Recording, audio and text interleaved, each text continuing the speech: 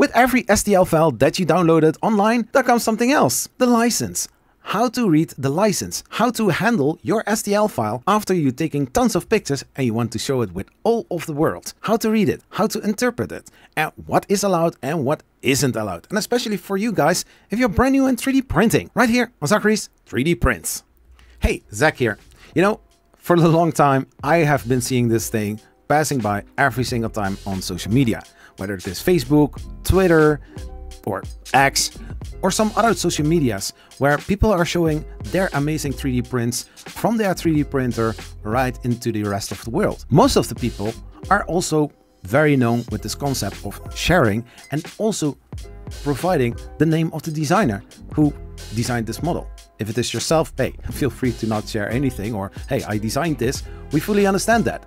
But some amazing models were put a lot of time and efforts in it to design it by the designer. If it is a model from Waxter, if it is a model from Fotis Mint, Chaos Core Tech, it doesn't really matter who the designer is. But if you are going to share it on social media, it is always a good thing, a good etiquette to share from who it is. And if you want to go the mile, also provide a link so other people can also start downloading this uh, file. But there's this one thing with the exclusive models that you got from printable clubs or from Thangs, memberships, or from Patreon that you are paying a monthly fee to get this STL file. Or if you bought it from Gambody, that you are not allowed to actually put this STL file somewhere else that everybody can download it for free. It's to the designer to put this model in public and then that everybody can download it for free. And please don't share those files for free somewhere else on a different kind of platform because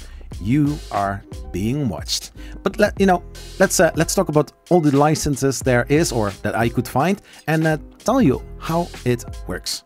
In this example, I'm using Printables as a website to show you all the licenses being used on this site. And, you know, there are some other sites as well, like Thangs, Thingiverse, uh, Maker World, or some other sites where there is most of the time always something mentioned about the license. Well, let's get to one of the first models that I found. It's uh, from Waxter Hitman. This is Hitman, a very beautiful model. Same model, two characters. Here, when you scroll down, this is just in the details. Model origin, he, uh, he made them himself. The license, Creative Commons. This is a logo that Creative Commons is using. It's saying by a dollar mark that is crossed, no commercial use, and uh, the equal sign is uh, ND, and it stands for non-derivatives or no remixing. Here with printables, I find this very easy to understand because underneath the whole license, it's exactly saying what it says. You're not allowed without attribute to the designer. You are also not allowed to make any remixes of this model. You are also not allowed to sell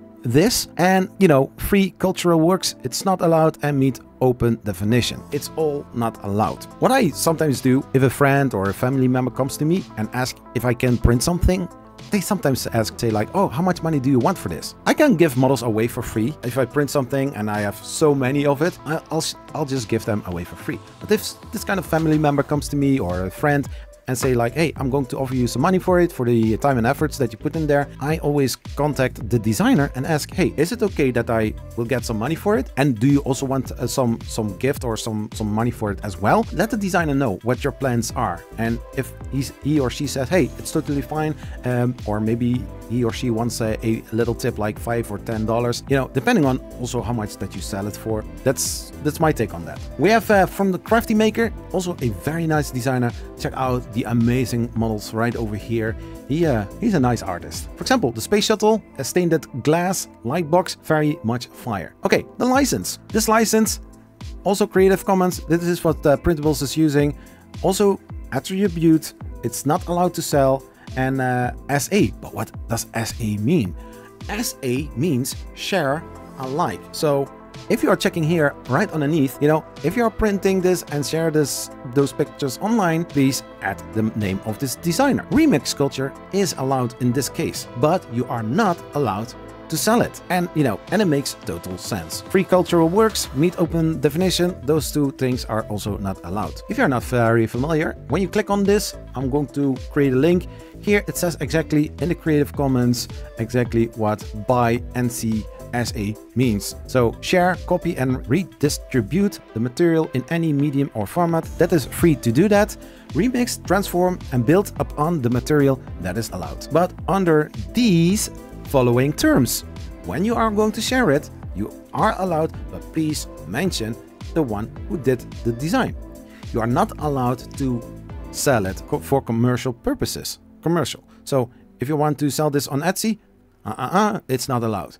So I think something like selling it because a friend or family member asks you like, hey, can you print this for me? Do what I do. Just contact the designer and ask, hey, like, do you also want a little share of it if I am selling this to my friend or to my family member or my neighbor? And share a like if you do a little change on a, you know, the, the frame of it, you are allowed to do that.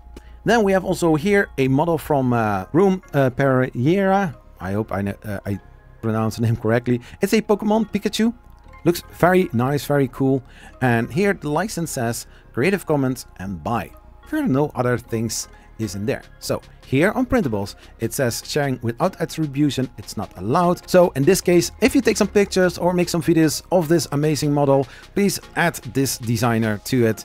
But remixing is allowed. Commercial use, you can sell this Pikachu and feel free to do so. So earn some money with it. I would suggest to give also a little tip to the designer. It's I think a fair thing to do. And uh, you know, free cultural works meet open definition.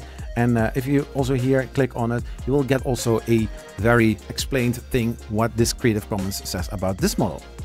Of course, this is not only limited to you and me, but also brands that are in the 3D printing space that they also need to apply those kind of licenses as well for showing the, those models and especially also by showcasing these 3D printers with the amazing models that they just produce, it's especially very much necessary to attribute the designer, give credit to the designer. There are some designers already having some special perks or special tiers for the companies that they are getting sponsored or that they are getting support and that those brands are free to use those models, also giving, of course, the attribution that the designers need.